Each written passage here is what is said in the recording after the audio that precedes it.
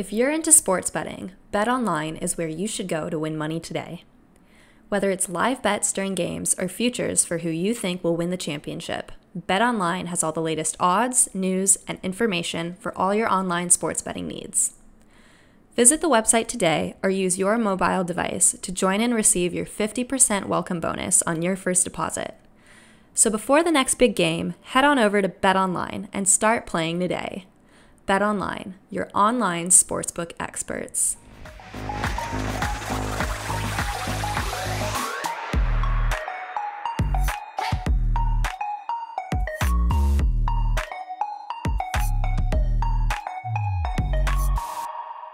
Hey guys, welcome back to my podcast. I'm your host, Polina Edmunds, and today on the pod, I'm going to be covering the second Junior Grand Prix of Courchevel that happened this past weekend.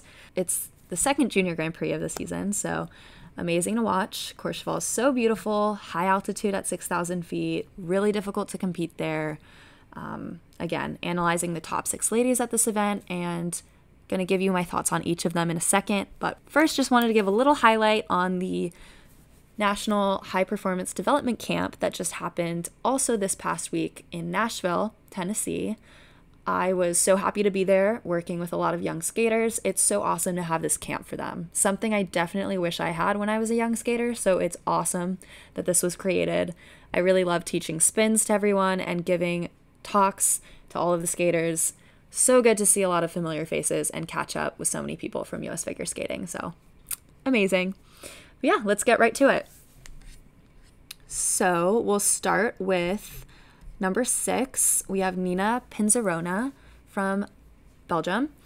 So, for her short program, she had a very nice short program, a good clean skate, complete with a triple Lutz triple toe. She nailed her jumps with sureness. She's very solid, but she could work on the quality and flow throughout her landings instead of just landing in one spot. I like this program in music a lot, but I think she's a little young for the words of the music. She needs to connect with the story um, of the movie, of the music, and project that. And I think it's a little early for her at this age for sentimental and romantic music. She could use more pauses in her choreography and really take her time with every accent and stretch rather than just rushing through the movements. Working on the overall character of this piece and bringing emotion to her skate is what can push her further up, but again, I don't think she should rush in developing that artistry. She's really young, and picking the right music for your age is really important. Her final Biellmann, amazing. She has a lot of potential. For the free skate, I also really liked it. Really, really like her skating. She has great posture, great lines, beautiful movement ability, very graceful. She does get a little sloppy in the air positioning of her jumps in her technique as she goes through her program, her jumps get a little loose in the air. She needs to tighten up and make sure her landings are sharp and have energy. She lost a little stamina by the end of her program, understandably, in this altitude. So I'm really eager to watch her compete at another junior Grand Prix or competition with less altitude to see what she's fully capable of. Overall, a really great skater with lots of potential. I'm definitely going to be keeping an eye on her. Next, we have Ahsun Yun from South Korea. So, for her short program, good to see her again this week. This is her second Junior Grand Prix um, in a row. So, it's actually very difficult to compete two weekends in a row. Um, so, props for her on that. The adrenaline that you feel at the first week is going to be way different than the second week. So, for any skater, you you know you want to time like when you peak very well. We all have ups and downs. Uh, really hard to do two weekends in a row at the top of your game. So the opening pop on her flip was definitely a bummer, but she recovered and absolutely nailed her triple Lutz triple toe combo. The ice coverage on her combo was stellar. That triple toe moved across the ice. Good performance in this program. I think she looked a little more polished this week. She can still work on her posture and lines in this program, really needs to work on her softness. For her free skate, she had a pretty good skate. She hung on to her opening combo it was unbalanced, but she still landed that triple toe on the end of it. Uh, and that really shows her fighting character, which is what we need to see in athletes. She got the job done. This program is a really good vehicle for her to explore character. She could work on the power of her landings, bring energy to the final moment to really emphasize her quality. Needs to be mindful of posture in this dress. Keeping her back arched and arms well placed is going to be key for her. I'd like to see her turn her knee out as well when she grabs her blade for her hair cutter position. But good job for the second week. Next, we have Seoyeon Ji from South Korea. So, also the second week competing for her, her adrenaline not quite going to be the same as last week. She had some mistakes on her jumps in the short. She needs to be clean to really excel. I did think the overall skating quality was better this week, though. I felt like she was projecting more emotion this time and really trying to perform her program, especially at the end, whereas last week it seemed more like she was just going through the motions. She needs to pay attention to her edges on the jumps, not get sloppy with that.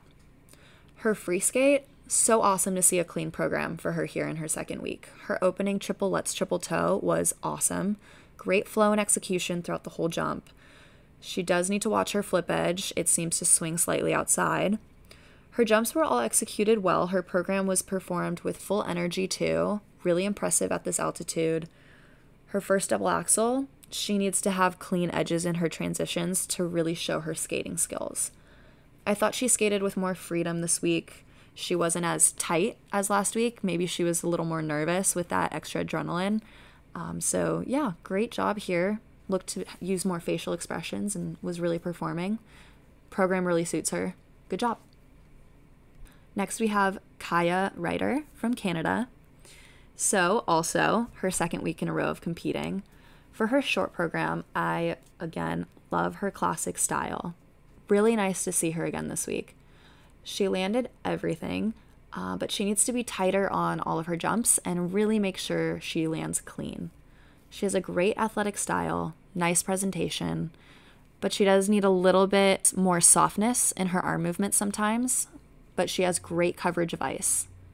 Her edges on her jumps are pretty jerky, so she needs to really stay calm and be very careful as she goes through her jumps. The smile on her face as she skates brings me so much joy. Love it.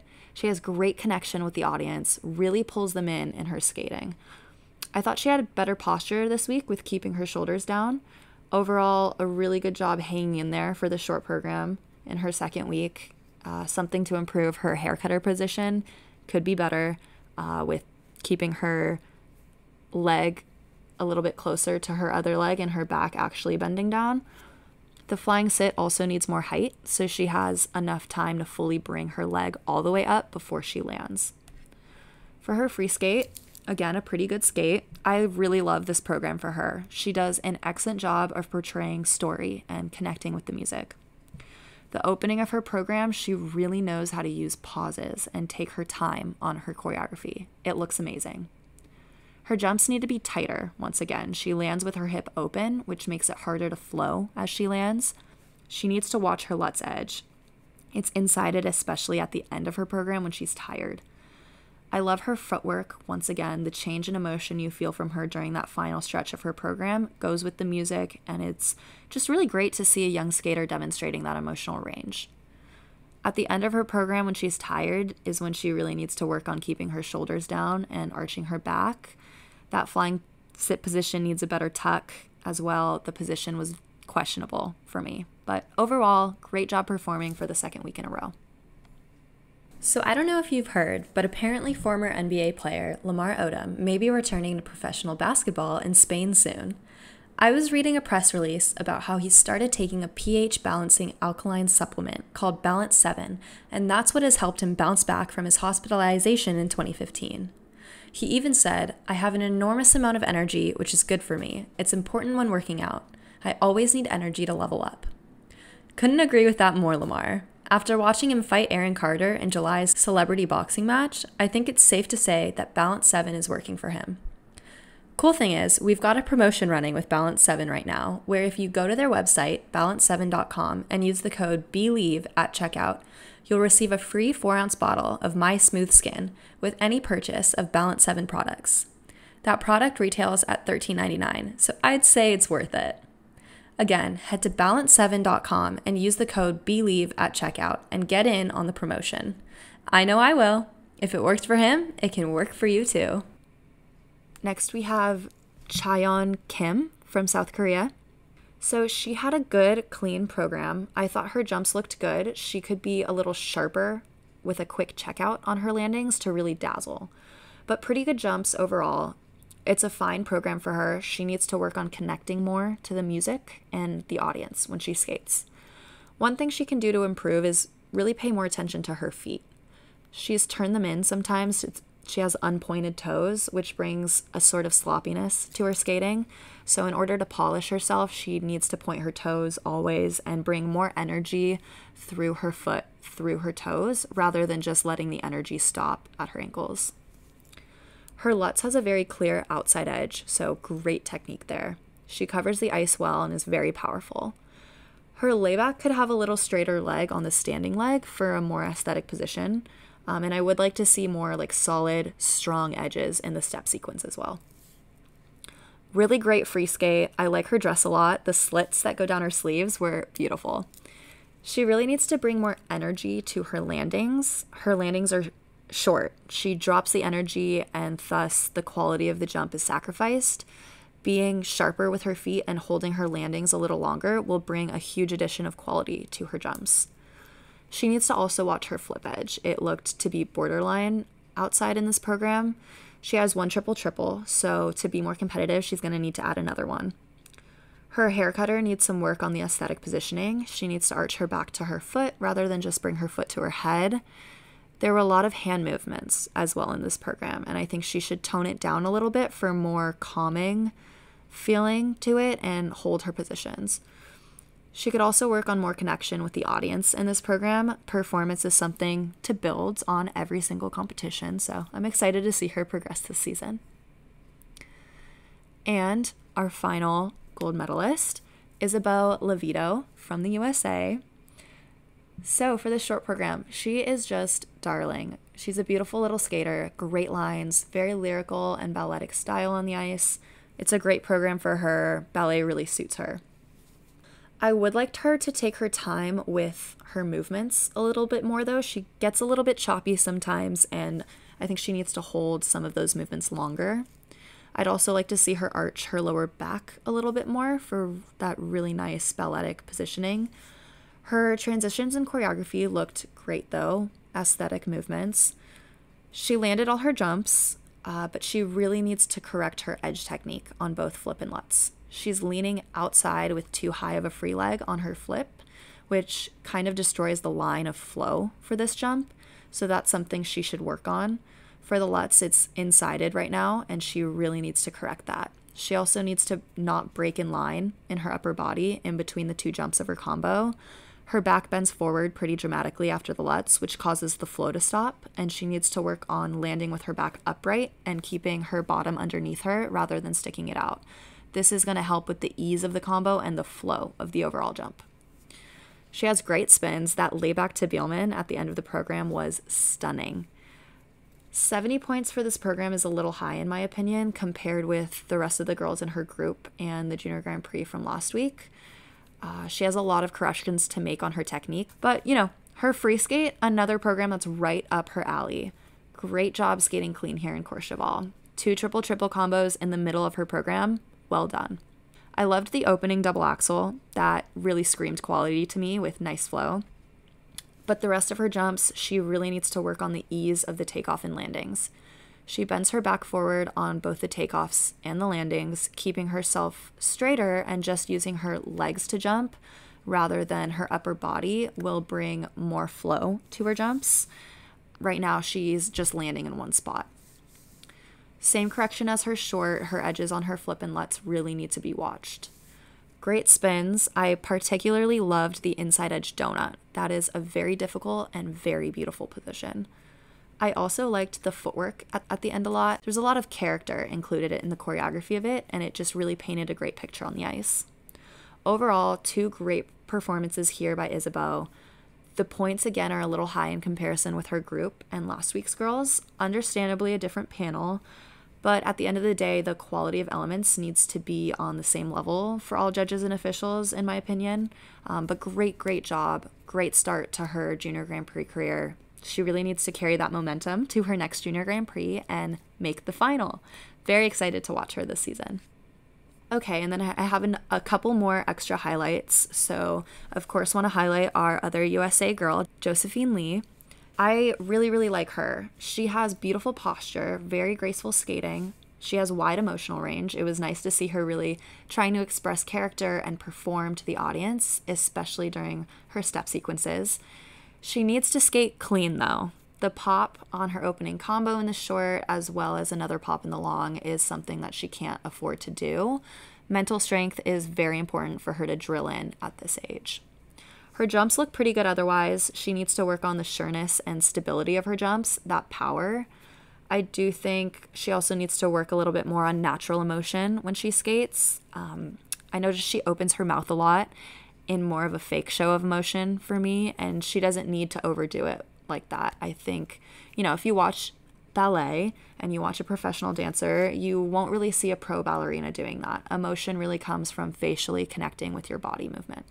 So, something that she can grow and develop in. She's just a delight to watch, though. Her performance qualities are already awesome. So, um, very excited to watch her progress. I also want to give a shout out to my Estonian girl, Nina Petrokina such a great athlete to work with when I was in Estonia last month, so it was awesome to watch her compete on the Junior Grand Prix stage. She has amazing transitions in her program. Her choreography has amazing pauses, and she skates so beautifully with such intention.